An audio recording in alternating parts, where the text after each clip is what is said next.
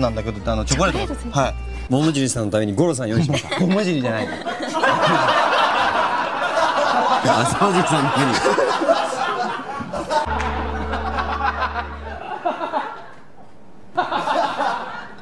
それは私じゃないです。エリカです。沢尻じゃないです。桃尻。上田さんいかがでしたか？あ土田ですか？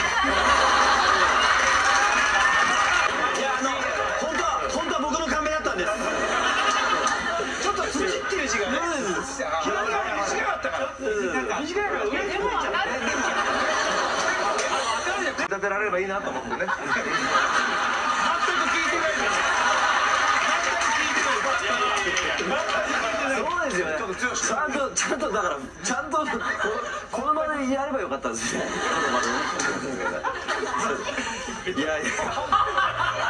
汗びっしょり。今日一番面白いね。